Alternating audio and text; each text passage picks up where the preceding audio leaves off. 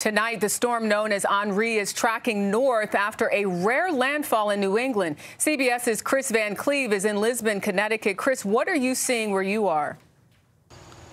The biggest issue in Lisbon and the surrounding parts of Connecticut, power outages down to trees coming down like this one.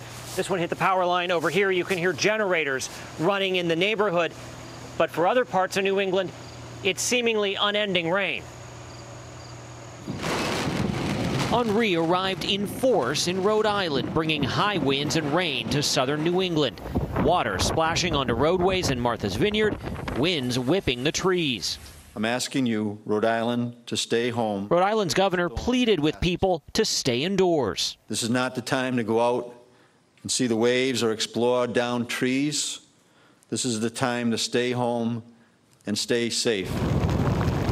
In New York, waves crashed on Montauk Beach, drawing a few brave souls to admire the view. Watch the storm. I love it. Chaos. Last night, New York City saw one of its hardest downpours in history. And in New Jersey, floodwaters engulf whole neighborhoods. It's getting deep and it's it's coming through. Including Kelly Richards' Helmetta home. It's upsetting because it's going to be a lot of damage for a lot of people. Definitely. Cars are under and basements are wet, so it's, it's not good. A swan rides the waves in Old Saybrook, Connecticut, where the Parkasevich family I wish we were off to Disney World.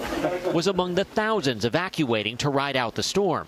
It was really a no-brainer to get down here, you know, between the winds and the rain, and mostly the tidal surges. With down trees throughout the region, thousands are without power. In Connecticut alone, the utility had predicted nearly 70% of customers could lose electricity.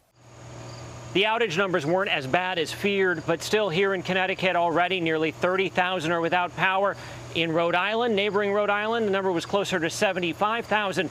And the storm isn't done yet. Rain is still coming down. Jericka? Kris Van Cleave for us, thank you.